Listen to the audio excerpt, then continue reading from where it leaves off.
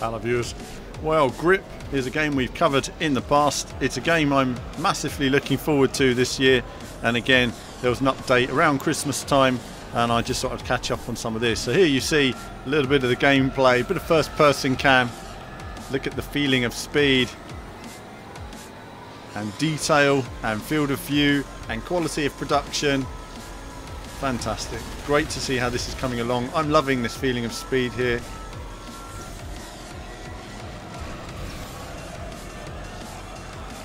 Rolling onto the tunnel.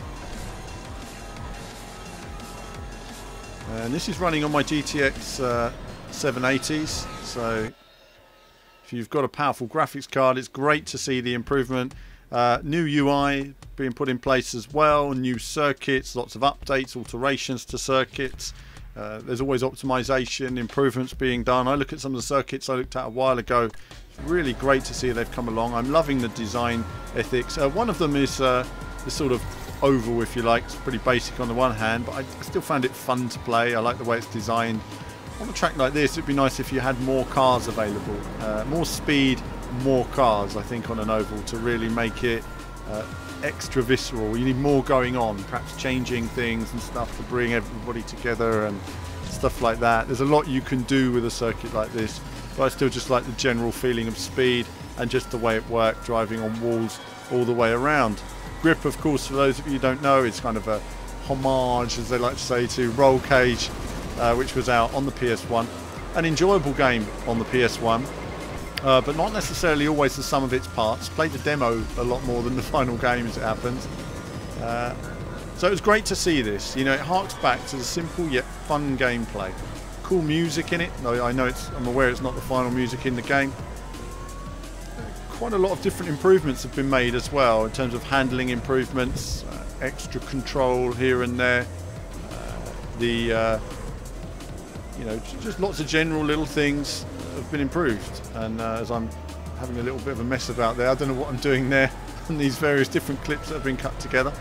But I was just checking out the different circuits, seeing how it's been improved. I was trying the race modes, I was trying the and I can't remember all the problem mode names because I recorded this video a couple of weeks ago. All the modes of weapons and stuff like that. Uh, generally speaking, it's all been improved. It's just finding your line you know, sometimes, you know, I, I, when I first played it, I really enjoyed it, but I found occasionally that it felt like uh, things would be a little bit unfair sometimes when you were taken out and, you know, you felt like you had no chance. Uh, you know, occasionally there's still a moment like that, but it's certainly better than it was. This is one of the new circuits that's in production. This is an unfinished circuit, uh, but I, you know, again, I'm finding it fun already. It's the open plan, speed of the environments. I like some of the tubes that you're going to drive through in just a moment. Here they are. Again, really nice visuals. Look at feeling of speed there. Wonderful. This kind of wobble it gives to the feeling of speed, and the way and the way your the, the physics of your craft work in terms of righting itself. I like that. Going through a range of different environments. Again, this is another environment still in development.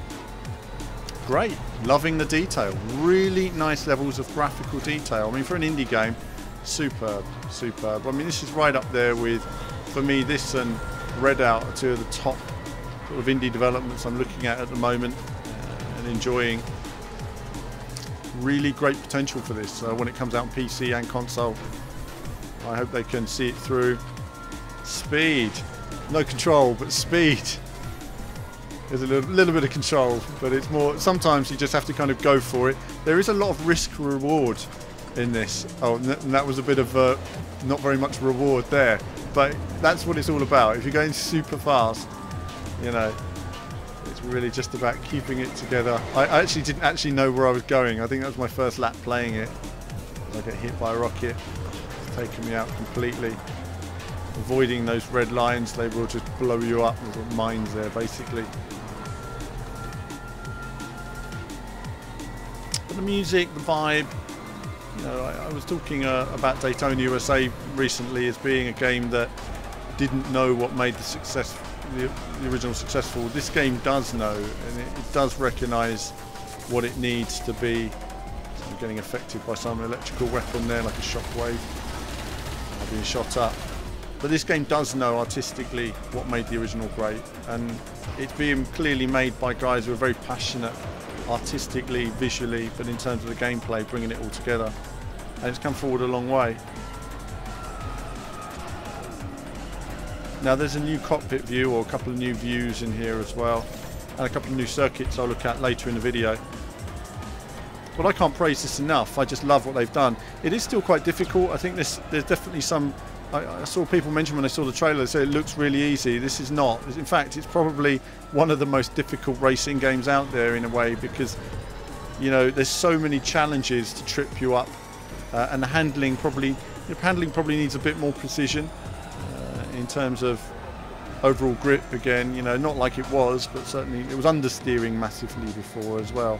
Uh, there is some understeer at high speeds, I'm noticing. Uh, and that's actually one of my complaints, actually, if the developers uh, consider it, is um, when you're at high speed and you lift off the power, you really have to slow down a lot to try getting into a corner. There's no kind of weight shift sort of helping the back end step out. As soon as you're on the power, the, the front just understeers. And when you come off the power, it makes no difference if your, your speed threshold's a certain height. Whereas there would be a deceleration and a, and a, and a weight moving forward or changing placement in the car to alter the, the load of it, which would definitely lean you a bit more into the corner because of the deceleration. So it's something that I think they need to think about, which would just make for more in the way of a logical, uh, you know, uh, sort of approach to the handling, which sometimes it just needed a bit more of that. So that's my main, one of my main issues really was just sort of that, that understeer element and just getting that, that just right with the handling. It will make the car more nimble and I, I think it will help make it more precise in terms of overall handling as well. I think I think handling is it's good fun, but it could do with a bit more precision at times. Especially on circuits like this, you know, you have that you got, you're very narrow. You've got two walls. If you start bumping on one wall, you're going to hit the other wall, and that's always something that's uh, something that's always very tricky. On these sections, you have to hit those little ramps. Otherwise, you're just going to fly off the course. In that case, you're okay because you land sideways, but you're not as quick. This is one of the new courses in production again. I love this course. I thought this was brilliant. It was technical. It was tricky. There's no sides on the course here. You'll just fly straight off if you don't stay. And as you can see, the speed boost around the edge, again, that's the risk reward scenario. I did try for one of those uh, in an earlier race and uh, realised that, oh, oh, goodness, that's not going to happen, is it? that wasn't going to work for me. As soon as you start to lose it, the walls did not protect me then.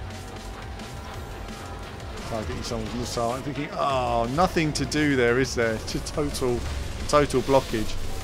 You kind of almost want your Knight Rider turbo boost moment then, just to get you over a moment like that. Ah, it's all going wrong for me. So I'm using one of the different viewpoints here on board. Again, it kind of gives you that stretched, warped sort of cam, which gives you a really good feeling of speed. Very playable as well. Love, love what they're doing here. So, no, uh, new modes, new tracks. I went through it all uh, testing here with weapons, without weapons uh, you know, really trying to get an understanding of what they're doing with the handling, the behaviour, uh, and it's definitely my most sought after indie game of 2017. You know, this is this is one of the few. I mean, obviously Redout's been released as I go off the edge there. Uh, Redout's been released uh, on PC. That's always already pretty spectacular and deserves more support, and it no doubt will when it comes to console. I think this is uh, right there. It's uh, it's got so much potential at the moment. But I like the technicality of this course in particular. I think some elements are harder than others. Uh, you know, th there is one clear route that's clear, better than all the others. Um, loving that.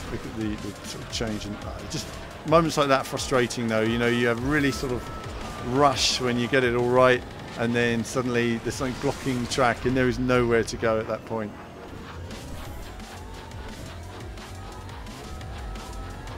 So, working my way up.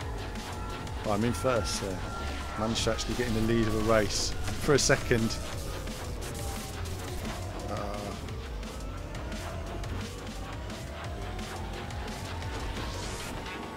Oh, and again, I just missed the jump I was talking about earlier, and that sent me off. Oh, and I missed it again. It just lined me up there, and I was, oh, wasn't ready for it. I wasn't ready to be set reset at that point. I definitely found myself to be more comfortable driving from sort of on the car or inside it than behind it. But I wanted to show you guys the various different viewpoints.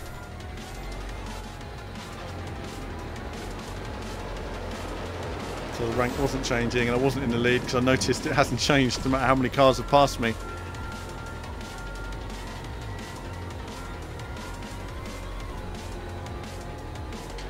I'll attempt to work my way up.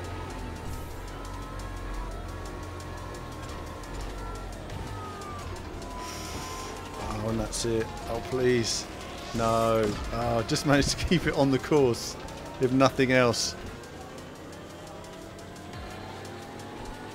But I'm enjoying myself. You know, I, I was enjoying myself playing this. I thought it was a fun, I thought it was a wild ride. I wanted to play it again. It's the sort of thing that when it's completed and when it's all put together, I can see myself really enjoying it.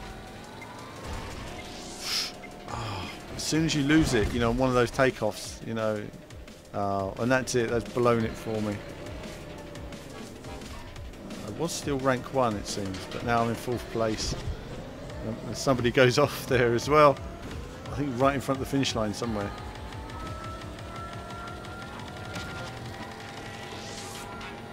Well, I don't know how it works that out, but anyway, I enjoyed the race. The various different viewpoints. The replay cams look really cool at the end, but there's no actual replays in the game. I look forward to when they are, because some of these viewpoints are really cool that they show. Just, just the movement, the way you're seeing your car tank thing rolling about.